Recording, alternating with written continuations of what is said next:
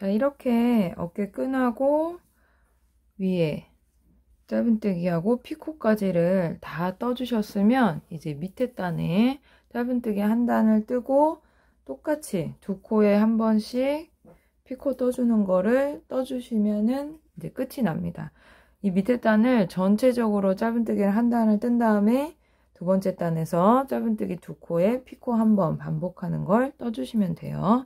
그럼 이때 우리가 시작할 때는 양쪽 옆에 옆구리에서 시작을 해주시면 됩니다. 그럼 이제 옆에 모티브에 보시면 이렇게 사각 모티브의 끝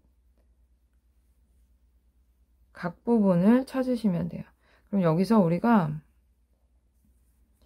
이 코너 부분에는 뜨지 않아요. 코너 부분은 뜨지 않을 거기 때문에 오른쪽이든 왼쪽이든 시작을 하시면 되는데 이 코너 부분에 연결해 준 게 있기 때문에 오른쪽 오른쪽 이 사슬 4코 자리가 되는 거예요. 여기는 이제 삼각형 모티브였기 때문에 이 사슬 4코 자리에 바늘을 넣어서 시작을 해주시면 됩니다. 무조건 이 기둥 하나에 짧은뜨기를 3코씩 떠주시면 돼요. 사슬 한 코 뜨고 짧은뜨기. 하나 둘셋. 세 코 뜨고 그 옆에 기둥. 여기에 바늘 걸쳐서 짧은뜨기. 하나 둘셋. 그럼 자연스럽게 여기가 정리가 돼요. 그럼 또 그 옆에 기둥에 바늘을 걸쳐서 짧은뜨기 3코 또 옆으로 넘어가서 짧은뜨기 3코 그냥 자연스럽게 이 기둥이라고 할 수 있는 이 부분에 짧은뜨기를 3코씩만 떠주시면 돼요. 바늘을 걸쳐서 여기서도 그냥 옆으로 넘어가시면 돼요. 하나, 둘, 셋. 그러면 이렇게 깔끔하게 정리가 되면서 짧은뜨기 한 단을 뜨시, 뜨시게 되는 거예요. 그렇게 한, 바, 한 바퀴를 돌아서 짧은뜨기 한 단을 떠주시면 됩니다.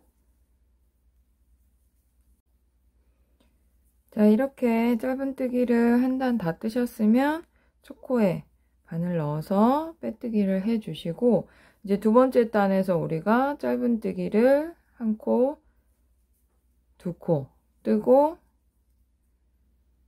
피코 만들고 다시 하나 둘 뜨고 피코 두 코 짧은뜨기 두 코에 한 번씩 피코를 떠주시면 되는 거예요 위에 이제 우리가 앞선 부분이랑 겨드랑이 했던 거랑 똑같이 짧은뜨기 두 코에 피코를 한 번씩 떠주시면 됩니다. 그렇게 한 단을 또 쭉 떠주세요. 자 이렇게 전체적으로 짧은뜨기 두 코 뜨고 피코 뜨는 거를 반복을 다 하셨으면 첫 코에 바늘을 넣어서 빼뜨기를 해주시면 됩니다. 그리고 이 실은